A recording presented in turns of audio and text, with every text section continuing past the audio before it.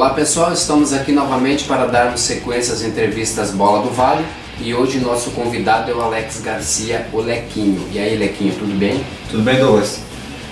O jogador atuou pelo Campeonato Municipal de Campo de Tijucas pela equipe do Renascença em 2014 e no ano 2015 ele apenas assinou pela equipe do Itatiaia e por motivos particulares ele não atuou.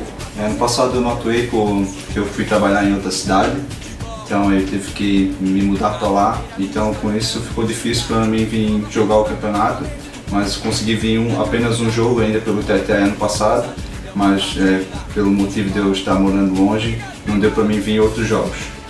Você tem um grande currículo atuando aqui em Tijucas e em todas as equipes em que você passou teve grandes participações, onde muitas vezes se consagrou-se campeão, né? Eu fui campeão no União, né? Fui campeão três vezes lá, fui campeão municipal, campeão da Copa Rádio Vale.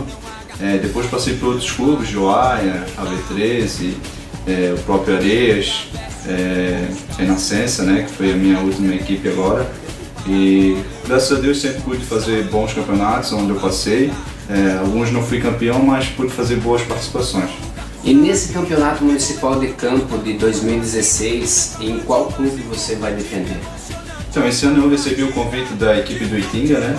Eu que estava um ano sem jogar, é, graças a Deus aí eu estava na cidade, voltei em dezembro ali, o pessoal do Itinga, a diretoria já, já veio atrás de mim, a gente é, confirmou a presença lá com eles.